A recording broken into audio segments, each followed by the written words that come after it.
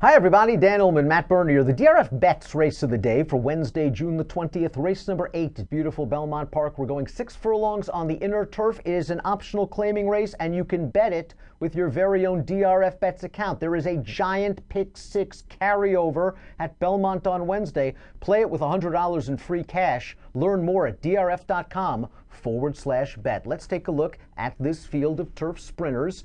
Uh, $85,000 is the purse, and you can access free formulator past performances on the Race of the Day event page at drf.com. Follow along with Matt and I as we take this field in post position order, beginning with the number one, Anita Partner. And Anita Partner is an old friend, Matt, from Southern California, grade two placed going down the hill. Maybe last time a mile was a little bit too far.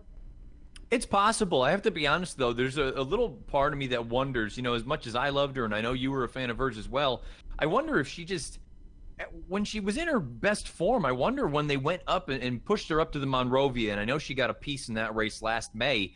I wonder, ever since then, her form really has just kind of gone downhill, and, and I wonder if this is probably what she's needed this sort of level non winners of whatever the condition may be but even having said that, it just feels like she might be a cut or two below the best runners, I think, in a race like this. It'll be interesting to see what kind of trip Javier is able to work out from the inside post position, cutting back from a mile to six furlongs. While she showed a little bit of speed in Southern California, she was more of a late runner. Again, it'll be interesting to see where Javier has her placed. The two is Downtown Mama. This is a first time turf runner trained by Linda Rice by Speightstown. 13% with first time turf runners. I wish there was more turf in the pedigree.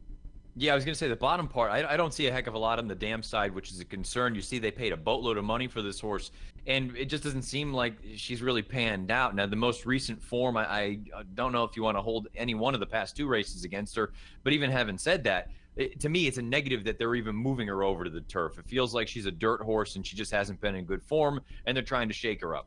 The dam went 0 for 1 on the turf. She's filled only one turf winner from five horses to try the surface. She is a half sister to a stakes place runner on the turf, but I wish there was a little more turf pedigree. Maybe this one can be forwardly placed. The key to the race is the number three, Fire Key, as we see from the Timeform U.S. pace projector. Not only is Fire Key a deserving 9 to 5 morning line favorite, just simply based on the Beyer speed figures she earned last year as a four year old, but she can be close in a race that should favor horses on or near the early lead. Are you a little bit concerned the trainer Pat Kelly might be using this race as a bridge to Saratoga, where she went two for two last year. I think it's something you have to be cognizant of, no question about it. But I do like the fact that there have been instances in the past where she's fired fresh off of the bench. Now, maybe we won't see her best until that second start, but against a field like this, it feels like if she comes with her B or B plus game, I think she's just better than everyone else. And from a tactical standpoint, you see that pace projector. If you work out that trip, I think she'd be very tough. Now, she has been away seven months, but boy, she got good towards the end of last year. That win in the Autumn Days Stakes came against some really salty competition. Stormy Victoria came back to run third in the Grade 3 My Charmer with a 98 Beyer, then won the South Beach with a 99 Beyer. You've got several other horses in that race that came back to do good things. She's the horse to beat, layoff or no. The four week fair is one of two in here trained by Christophe Clement. This horse ran just fine in her seasonal debut, and you can make the argument that she'll move forward in her second start back. I wonder if six is a little bit short for her. Yeah, I agree with that. You see, she was campaigned at seven eights more often than not when she was over in Europe. Came here, first start going seven eights, and it just feels like one of those instances where she was coming from off of it in that debut here in North America. For what it's worth, the first and the dead heat for second, Malibu Stacy, they came back with 85 and 89 Beyers in their next start. So the form of that race has been okay. I just wonder again, eh, maybe this distance is a little bit on the sharp side, and I have to be honest, the running style more and more on the turf at Belmont recently when it just seems like it's rock hard and it's like asphalt I think these horses coming from off of the pace, they're going to have a little bit of a difficult time. And Timeform US has this horse, the number four, dead last in the early portion of this race. She may have a lot of work to do when they swing into the stretch of this six furlongs. The five, six, and seven, they are all entered as main track onlys. The eight is Miss Gossip, second time for trainer Carlos Martin. This mare ran just fine in her first start for the barn over good going. The winner of that race, Tilly's Lily, was the favorite. She's done well on firm ground in the past. I need a little bit of improvement out of her, though. I think she's okay. Her recent form is a little bit spotty at best. I think she did some good things, though, going back to last year. Uh, to me, she's the kind of horse that you want to use underneath. The last time the nine JC's shooting star stepped foot on firm turf was at Aqueduct going six furlongs, and she came from off the pace to win with a 94 Beyer speed figure. She backed that up with the same number in the license fee stakes in her first start off a little bit of a layoff. And in that race, she was kind of covered up, came with one run down towards the inside, and she ran just fine. I mean, that 94 Beyer puts her in very good stead with this field. Last time out in the Mount Vernon, they stretched her out to a mile, and Manny Franco could never get cover with her. She was chasing a slow pace. This race was wired by feeling bossy, chasing a slow pace while three, four wide, attacked on the turn, and then flattened out. I like her turning back to six. She may need a little bit of pace, but I know firm ground is good for her. I think she has a shot. Yeah, I agree with you. I picked her second in here. You know, the beautiful thing about Formulator, you can go through and you can and darken out what you want to see and what you don't want to see. And I have a filter for the six furlong turf sprints, and each of those two races, two and three starts back, they're the ones that stick out like a sore thumb.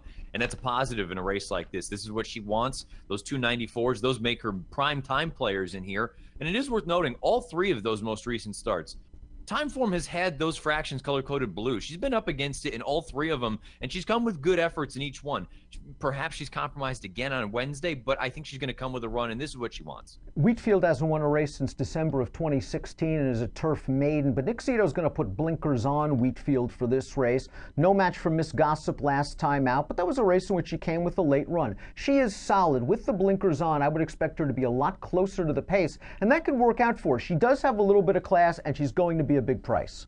Yeah, I, the recent form, I feel like they went to the turf trying to find something out of her. At this point, with the recent form, to me, underneath only. Blessed Silence is the number 11. She just caught the boggiest of turf courses last time out in the Grade 3 Gallorette. She was beaten a million lengths by Ultra Brat. It's very hard to rate that performance simply because the course was so soggy. Two starts back, she was in against a, a legitimate graded stakes caliber filly in inflexibility. It was a short field, there wasn't much pace, and she didn't do much. I know you like this mare a little bit. What about her cutting all the way back? You know, there's there's a, a, lot of things here that I'm unsure of. I, I liked her in that Gallorette, and the main reason there was because I figured that was going to be a soft turf course, and you saw the damage she had done over in Europe over soft going. I thought it was going to translate well, and okay, Ultra Brat freaked out that day. I'm not going to really hold it against her. I'm more concerned about the turn back here. I understand that they had gone shorter with her in the past, but it just still feels like to me over here the game was going to be middle distances and now six furlongs i think she's going to be outrun early and i don't know if it's going to work for her. Let's take a look at our top picks for wednesday's drf bets race of the day part of a major pick six carryover. You're going with the three fire key. If she comes back in the same form she left as a four-year-old filly she is the most likely winner no question about it. And I think the other horse for me in here would be the horse that you like, JC's Shooting Star. The difference and the real difference maker, if I'm playing the pick six, and I'm going to play with Ticket Maker. The thing that may separate one from being an A and one from being a B is the tactical advantage. Fire, Fire Key is going to have a major tactical jump on JC's Shooting Star.